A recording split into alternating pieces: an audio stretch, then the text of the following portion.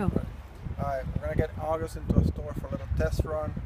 He's been struggling with the down, but he's doing good with heel, sit, calm, down. I mean, not down. Uh, wait and stays and stand. I'm gonna take him out of the car. Off. He has a two a, a Herm Sprenger prong collar, 3.0 millimeters for corrections.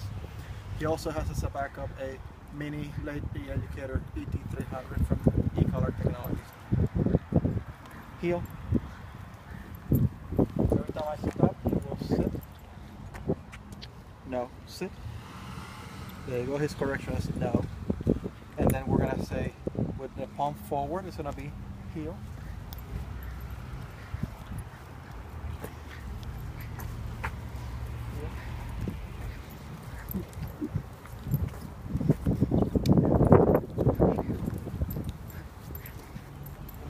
I'm have him sit. I'm gonna tie my shoe. I'm the leash here so he can just wait for me to tie it. he will not move. And we're gonna go heel.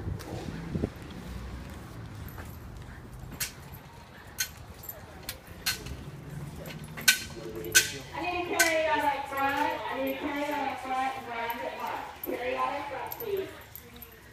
I'm gonna stop to look at some leashes and he's gonna sit. I'm gonna want him to do down, down. There you go, there you go, there you go. No, down. He still needs some help. We're gonna put our hand here. Let's there you go, down. Once he achieves down, he doesn't try to break it at least. Uh, I'm gonna tell him to stay. Stay. He has to wait until I come back.